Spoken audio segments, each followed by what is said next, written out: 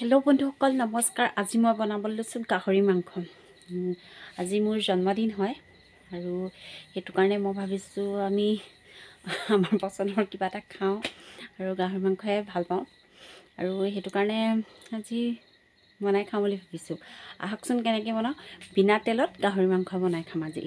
আহক মই প্ৰথমে মাংসখিনি বইল কৰি ল'লোঁ। মাংসখিনি মই বইল কৰি ল'লোঁ। এইখিনি।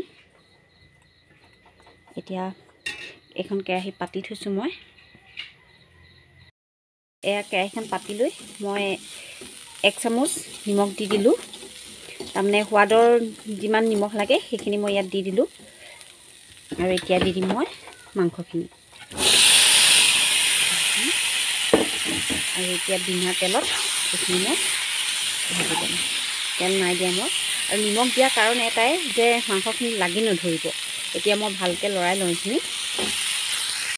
সেয়া চব মাংস পৰা তেল ওলাবলৈ আৰম্ভ কৰি দিছে। মই তেল অকণমানো দিয়া নাই। অকল নিমখ দিছোঁ। সোৱাদৰ জোখৰ নিমখখিনি দি দিছোঁ আৰু মাংসখিনি দি দিছোঁ। মাংসখিনি মই বইল কৰি লৈছিলোঁ আৰু এইখিনি তেলতে মই মাংসখিনি অলপ ভাজি ল'ম। ইয়াত লৈছোঁ মই আদা নহৰু। নহৰু এটা লৈছোঁ আদা আধা টুকুৰ লৈছোঁ। নহৰুৰ আধাটো সদায় আদা লওঁ। আৰু জলকীয়া তিনিটামান তাৰমানে যোনে যিমান জ্বলা খাব পাৰে সিমানটো ল'বচোন। এয়া হৈ গ'ল এইখিনি এতিয়া মই খুন্দি লওঁ। চাওক মাংসখিনিত কিমান তেল ওলাই ওলাই গৈ আছে লাহে লাহে। এতিয়া মই বেছি দেৰি নাভাজোঁ নহ'লে মাংসটো নাইকিয়াই হৈ যাব তেল ওলাই ওলাই। এতিয়া মই আদা নহৰু জলকীয়া খুন্দি ল'লোঁ এইখিনি দি দিলোঁ। আৰু লগতে দি দিম মই হালধি। এয়া হালধি দি দিলোঁ।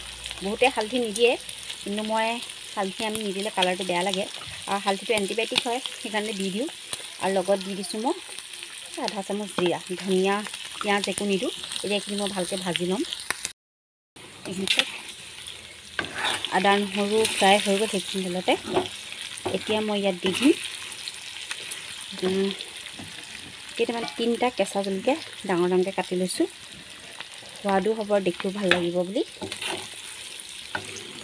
আৰু ফ্ৰাই নকৰোঁ ইয়াত দি দিম মই। পানী।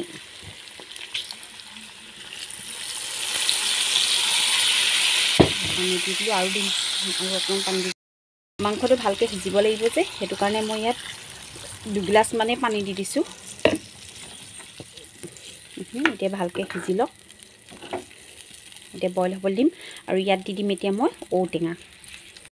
মাংসখিনি ধুনীয়াকৈ উতলি আছে। এতিয়া মই ইয়াত দি দিম আপোনাৰ বিলাহী এটা।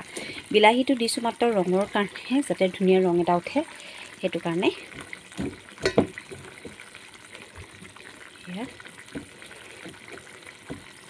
আৰু লগত এয়া লৈছোঁ মই ঔটেঙা। এইখিনি এইখিনি এতিয়া মই থেতালি ল'ম।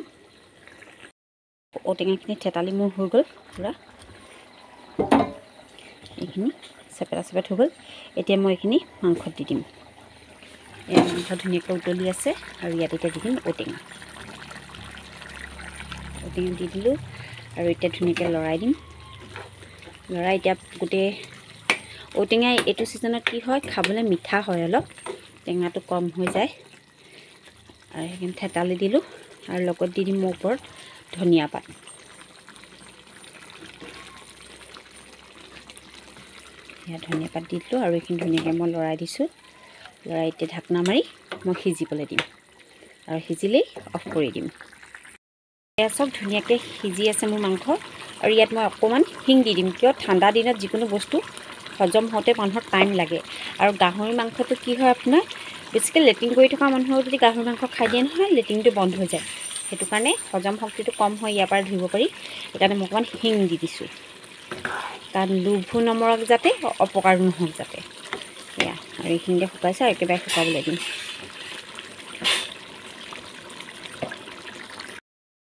চব মাংস হৈ গ'ল এতিয়া মই গেছটো অফ কৰি দিওঁ। পানী পূৰা শুকাই গ'ল পানী নাই একেবাৰে। তেলখিনি আছে সেই মাংসখিনি শুকাই খিনাই একেবাৰে নাইকিয়াই হৈ গ'ল পিছত। শকত শকত মাংস শুকাই খিনাই গ'লগৈ। আৰু শুকাই খিনাই যাব দিব নোৱাৰোঁ গেছটো অফ কৰি দিওঁ। বন্ধুসকলে এয়া চব ধোঁৱা ওলাই আছে। গৰমা গৰম ঔটেঙাৰ লগত বনোৱা গাহৰি মাংস। দেখে টেষ্টি লাগিছে আৰু মোক খাওঁ খাওঁ লাগিছে। আহকচোন খাই চাওঁ কেনেকুৱা হৈছে প্ৰথমে। এয়া চাওক মাংস। কি ধুনীয়া হৈছে। কোন পিচ খাম বাৰু? এই পিছে খাওঁ ন? এতিয়া এয়া।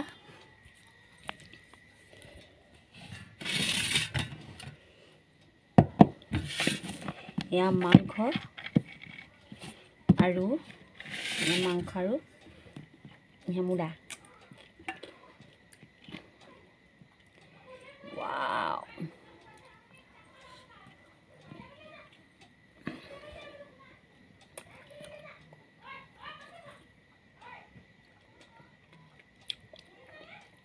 আপোনালোকে ক'লে বিশ্বাস নকৰিব।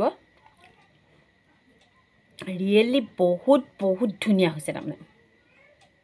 ইমানেই ধুনীয়া হৈছে খাবলৈ। মই ক'ব পৰা নাই।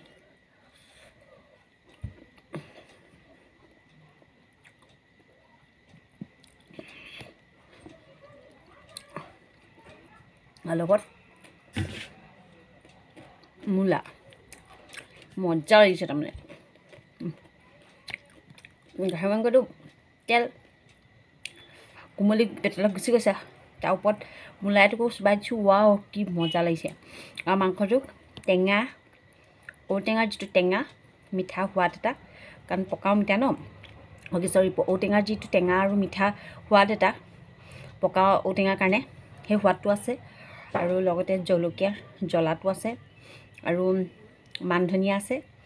একদম কম্বিনেশ্যন কিন্তু মজা।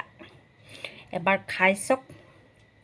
খাই চাওক বুলি মই খাইছোঁ আপোনালোকে চাওক আৰু এনেকৈ বনাই খাব। খাই লৈ পিনাই কেনেকুৱানো হয় কমেণ্টত জনাব। বাৰু বন্ধুসকল আজিলৈ আহোঁ পুনৰ আকৌ নতুন এটা ভিডিঅ' লৈ আপোনালোকৰ ওচৰত থিয় দিম। তেতিয়ালৈকে বাই বাই